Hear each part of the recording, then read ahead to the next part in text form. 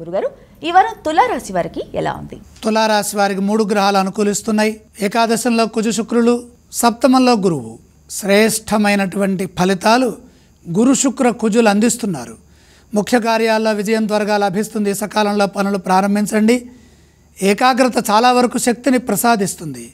ఉద్యోగంలో శ్రద్ధ చూపండి. కొందరి వల్ల స్వల్ప విఘ్నాలు ఎదురు కావచ్చు ఎందుకంటే సూర్య చంద్రుడు తొమ్మిదిలో ఉన్నారు. సూర్యుడు ప్రధానంగా ఉద్యోగ ఫలితాల్లో ఆటంకాన్ని ఇచ్చే అవకాశం ఉంటుంది కాబట్టి శాంతంగా సమస్యను పరిష్కరించండి. సమస్య ఉత్పన్నం కాకముందే మీరే స్పందించి ఒక అరగంట ముందుగానే పని మొదలు పెట్టండి పనిలో ఒత్తిడి తగ్గుతుంది ఉత్సాహంగా పనిచేస్తే మంచి ప్రతిఫలం లభిస్తుంది. ఇప్పుడు మీరు తీసుకునే నిర్ణయాలు మీకు మంచి భవిష్యత్తుని ప్రసాదిస్తాయి. ఆర్థిక ప్రయోజనాలు సమకూరుతాయి. శుక్రబలం వల్ల ఆశించిన ధనలాభం కలుగుతుంది. ఆశయం నెరవేరే వరకు శ్రమిస్తూనే ఉండాలి. ఒక విషయంలో వారం మధ్యలో శుభం జరుగుతుంది. అంటే బుధ గురువారాల్లో కలిసి వస్తుంది. ఆనందించే అంశం ఉన్నది శుభవార్త శక్తిని ప్రసాదిస్తుంది. తులారాశి వారు ఏ స్తోత్రాలను పఠించాలంటారు గురుగారు?